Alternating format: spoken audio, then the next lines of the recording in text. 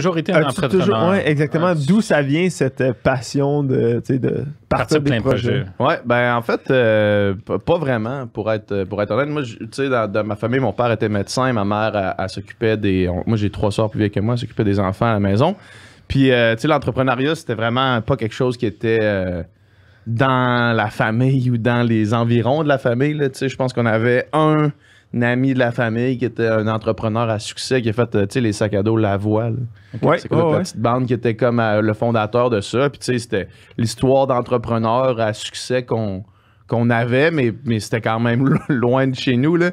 Fait que Ouais. euh, ça a jamais été quelque chose qui était euh, euh, qui était dans l'ADN en, en- en vieillissant, dans le fond.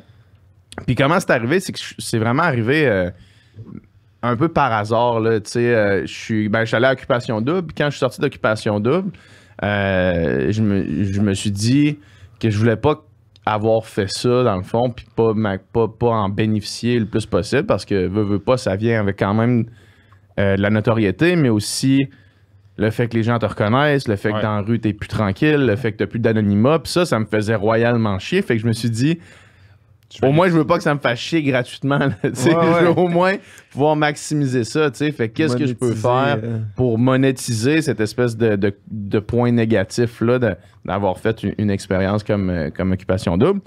Puis, euh, puis je suis vraiment tombé là-dedans là, par hasard. Là, où est-ce que là, je suis sorti de là. Moi, je, faisais ma maîtrise en littérature à l'Université Laval. Euh, pen- pendant, pendant que j'étais allé à- En fait, je faisais ça. Euh, je faisais au- j'ai fait OD pendant que je faisais ça. Puis en sortant, Est-ce que c'est la nuit de ta maîtrise? euh, ben, c'est la nuit dans, dans le sens où après ça, ça a été vraiment difficile de me rasseoir pour écrire une, un, un mémoire au complet. Là, c'était comme la vie allait trop vite, puis j'avais plus vraiment. euh, quand tu sors du mode créatif, t'es plus vraiment dans. C'est Ouais. difficile d'y retourner. Là, Ouais. Puis, euh, puis c'est ça, après ça, tu sais.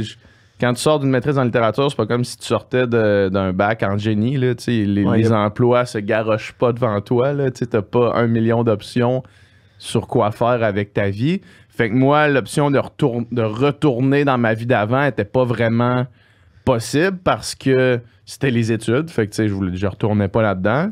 Sinon, après ça, retourner dans mon, dans mon métier d'avant, ça n'existait pas non plus parce que j'en avais pas encore.